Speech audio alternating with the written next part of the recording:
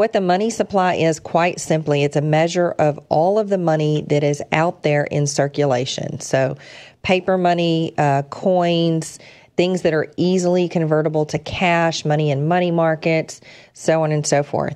Ever since we came off the gold standard, the Fed is responsible for printing money and putting money into circulation. When the government borrows money, they have to monetize the debt.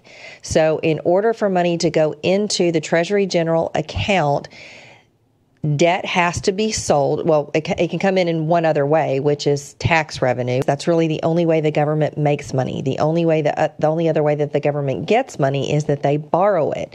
So when they borrow it, they have to issue debt. So the Fed assists them in doing that. The Fed uh, prints money, puts it into circulation.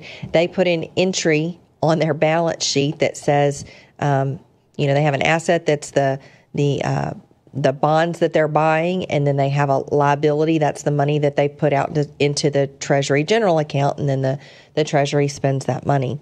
If you look at a chart of the money supply and how it's trended, what you see is that it kind of rocked along for a good bit. And then right around 2008 ish, and if you remember what happened in 2008 ish, it was the, the banking crisis, the Fed, we went into a decades long um, period of free money.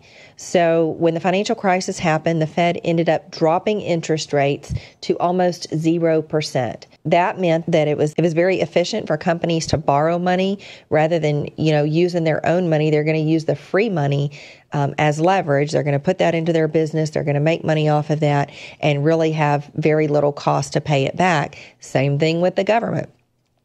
So you really see this spike in uh, the money supply as that happened from 2008 on to 20, roughly 2014, where it kind of leveled out for a while until COVID.